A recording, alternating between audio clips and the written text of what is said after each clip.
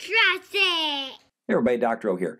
In this video we're going to start to talk about equilibrium. So equilibrium sensations, they're provided by what's called the vestibular complex, which can be broken down into the saccule and utricle, in the vestibule, which they're responsible for like linear acceleration and the impact of gravity has on our body.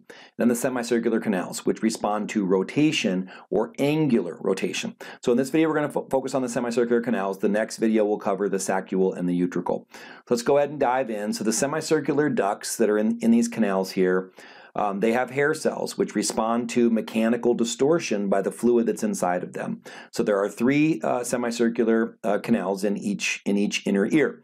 We have the superior, which I usually call the anterior canal, the posterior canal, and the horizontal canal. So that superior or anterior canal responds to a nodding of the head, so moving forward and back. The posterior canal responds to tilting the head side to side, so bringing your ear towards your shoulder.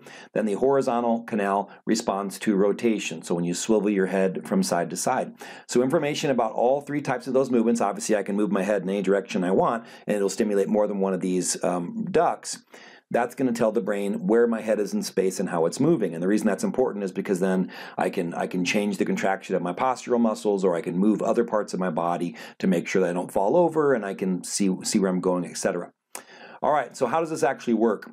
So when your head moves, the liquid inside these canals sloshes around. So if I if I turn my head, that's going to cause a sloshing around of this liquid inside these canals, and it's actually going to cause the the receptors, the hair cells, which are there at that the cupula, and then we have what are called stereocilia and one long kinocilium. They're going to bend, but in the opposite direction. So as I move, the um, the liquid's going to slosh in the opposite direction, and it's going to cause them to be to be stimulated. But the the information these hair cells are sending to the brain is what is what tells tells uh, the brain about my head position, etc.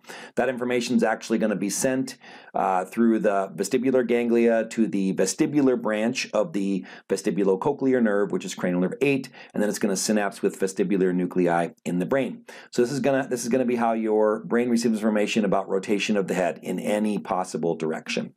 Uh, so how can we fool it? I'll give you a couple examples. So if you spin around really fast and then stop, this liquid is still sloshing around. So your brain's going to think you're still moving for a while longer. This is why I would never get on a ride like this, but this is why you'd feel dizzy after a carnival ride, amusement park ride, these types of things, or just spinning around in a chair right? Just in doing those types of things. I remember uh, an incident I had with the teacup when I was a kid, so I don't do these spinning rides anymore. But that's why. The liquid is going to slosh around after your body's already stopped moving. Another example that students often bring up to me is when they get the spins if they consume too much alcohol. So alcohol thins the blood, it actually changes the density of the fluids uh, that, that uh, reach the cupula compared, compared to the blood.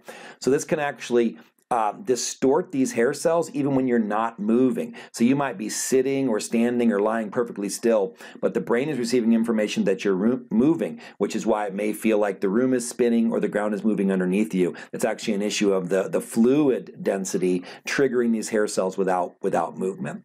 All right, so that's the semicircular canals and how they respond to rotational movements and help maintain equilibrium. I hope this helps. Have a wonderful day. Be blessed.